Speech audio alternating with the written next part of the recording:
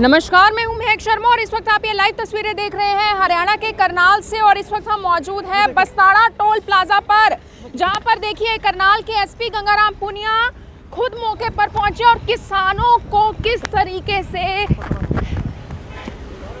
पकड़ा जा रहा है ये देखिए।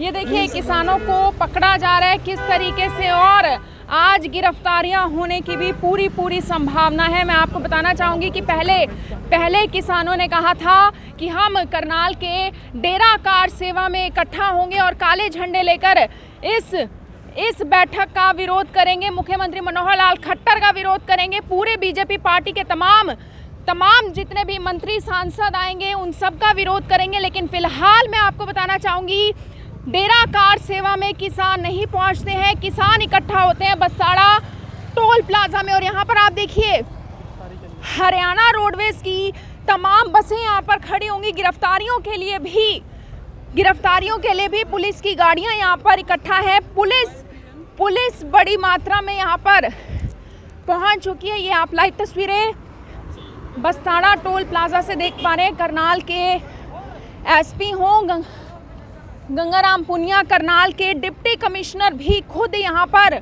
मौके पर पहुँचे हुए और ये देखिए, एसडीएम करनाल एसडीएम करनाल बड़े बड़े जो करनाल के अधिकारी हैं, तमाम एसएचओ हैं। देखिए अलग अलग अलग अलग करनाल ज़िलों से भी पुलिस टीम को बुलाया गया था अलग अलग ज़िलों के डीएसपी को तैनात किया गया था। और ये देखिए ये देखिए हेलमेट डालकर जो करनाल के डिप्टी कमिश्नर हैं निशांत कुमार यादव, वो खुद पुलिस के बीचों बीच यहाँ पर खड़े हुए हैं। ये लाइव तस्वीरें इस वक्त आप बसाड़ा टोल प्लाजा से देख रहे हैं। हालाँकि पहले ही अनुमान लगाया जा रहा था कि आज तनाव की स्थिति बन सकती है और ये देखिए, करनाल के एसडीएम हैं आयुष सिन्हा, वो मौके पर हैं और इसके साथ साथ करनाल के डिप्टी कमिश्नर हेलमेट पहने हुए हैं। ये देखिए। सीआरपीसी के तहत फिर से चेतावनी दी जाती है। ये अनलॉफुल असेंबली डिक्लेयर्ड है। लॉ के तहत सीआरपीसी के तहत, धारा 144 के तहत अनलॉफुल अनलॉफुल असेंबली डिक्लेयर्ड है। आपसे निवेदन है और आखिरी चेतावनी है, यहाँ से डिस्पर्स कर जाए, नहीं तो बल का प्रयोग किया जाएगा। नहीं तो बल का प्रयोग फिर से किया जाएगा। आपसे आखिरी चेतावनी है। देखिए, करनाल के एसडीएम हैं आयुष सिन्हा और उनके साथ साथ करनाल के जो एसपी हैं एसपी हैं गंगाराम पुनिया, वो मौके पर पहुँचे हुए हैं।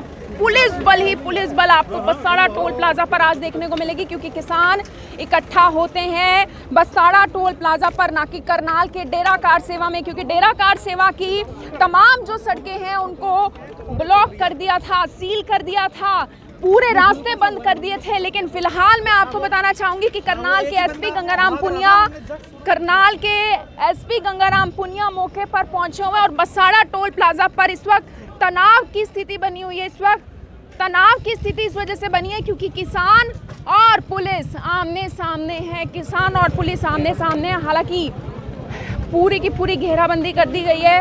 किसानों को अंदर, किसानों को अंदर बंद कर दिया गया है। किसानों को नज़र बंद कर दिया गया है।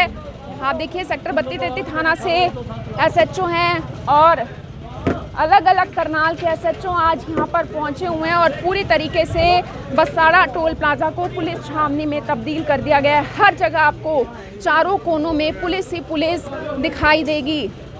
किसानों को आप देख लीजिए किस तरीके से नज़रबंद कर दिया गया है।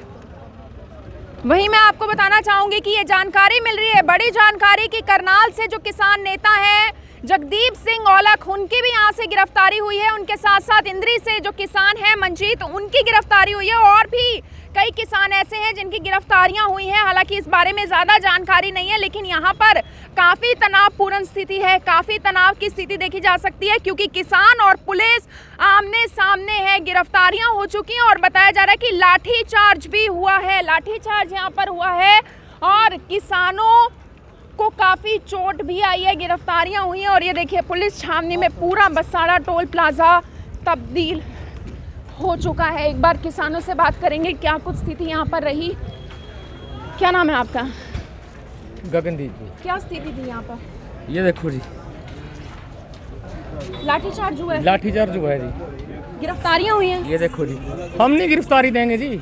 किसी की गिरफ्तारी हुई है? नहीं जी किसी की गिरफ्तारी नहीं हुई अभी। जगदीप सिंह औलख कहाँ है किसान नेता उनके चोट लगी है जी हॉस्पिटल गए हैं जी। हॉस्पिटल गए हैं हाँ जी हमारे कम से कम भी बीस किसानों को चोटें लगी हैं। हम्म। हाँ जी लाठीचार्ज हुआ है बहुत ज़्यादा पुलिस वालों ने तरफ़ भी लाठीचार्ज हो रहा है बिल्कुल हुआ है तो एक बार उस तरफ़ भी लाठीचार्ज हुआ है लाठीचार्ज हुआ है एक बार आगे की भी आपको तस्वीरें दिखाते हैं क्योंकि स्थिति पहले से ही अनुमान लगाया जा रहा था कि तनावपूर्ण होगी और वहीं मैं आपको एक बड़ी जानकारी देना चाहूँगी कि दूसरी तरफ़ सीएम सिटी करनाल में जो प्रदेश के मुख्यमंत्री हैं, मनोहर लाल खट्टर, वो पहुँच चुके हैं, उस बैठक में शामिल हो चुके हैं।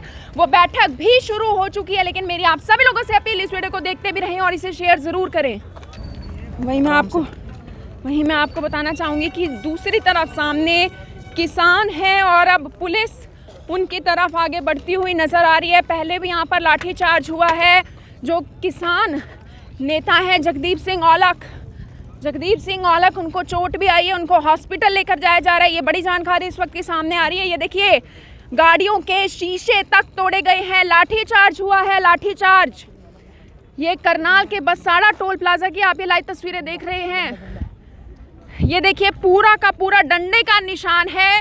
डंडा किस तरीके से किस तरीके से यहाँ पर मारा गया और गाड़ी का शीशा तोड़ा गया है? काफ़ी तनावपूर्ण स्थिति इस वक्त यहाँ पर देखने को मिल रही है, क्योंकि किसानों का ये कहना था, किसानों का ये कहना था कि हम विरोध करेंगे, हम काले झंडे दिखाएँगे, लेकिन किसानों को करनाल में एंट्री ही नहीं मिली। करनाल में उनको घुसने ही नहीं दिया गया। बल्कि मैं आपको बताना चाहूँगी कि पहले पहले किसानों की जो रणनीति थी वो ये थी कि हम करनाल के डेरा कार सेवा में इकट्ठा होंगे, लेकिन उसके बाद किसानों ने यह तय किया कि हम करनाल के बसाड़ा टोल प्लाजा पर इकट्ठा होंगे भारी संख्या में और उसके बाद करनाल की तरफ़ रवाना होंगे और वहाँ पर कूच करेंगे। लेकिन फ़िलहाल जो बड़ी जानकारी आ रही है वो ये है कि किसानों को यहीं पर नज़रबंद कर दिया गया। किसानों को आगे जाने ही नहीं दिया गया। आप सभी लोगों से अपील इस वीडियो को देखें और इसे शेयर ज़रूर करें। वहीं अब आपको बड़ी जानकारी देना चाहूँगी कि नेशनल हाईवे का यातायात पूरी तरीके से रुक चुका था। नेशनल हाईवे बंद हो चुका था। कोई भी गाड़ी, कोई भी वाहन आगे नहीं निकल पा रहा था, लेकिन पुलिस भारी मात्रा में आगे बढ़ती है और उसके बाद नेशनल हाईवे को खुलवा लिया जाता है और अब आप देख सकते हैं गाड़ियाँ चलती हुई फिर से नज़र आ रही है। पीछे काफ़ी घंटों से लोग भी इंतज़ार कर रहे थे बसेस वाले इंतज़ार कर रहे थे।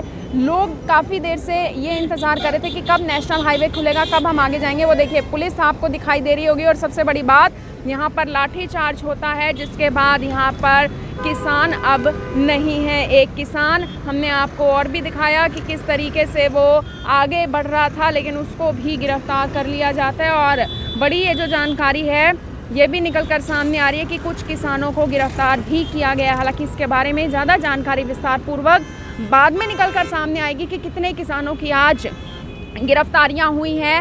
लाठी चार्ज में किन किन को चोट लगी है, लेकिन बड़ी बात जो मैं आपको बताना चाहूँगी कि कल जिन्होंने वीडियो जारी किया था, करनाल से जो किसान नेता हैं, जगदीप सिंह औलख जिन्होंने वीडियो जारी करके ये कहा था कि कल हम साढ़े नौ बजे काले झंडे लेकर करनाल के डेरा कार सेवा में इकट्ठा होंगे। उनके ऊपर भी लाठी चार्ज हुआ है, उनको भी गंभीर चोटें आई हैं, उनको भी अस्पताल लेकर जाया गया है।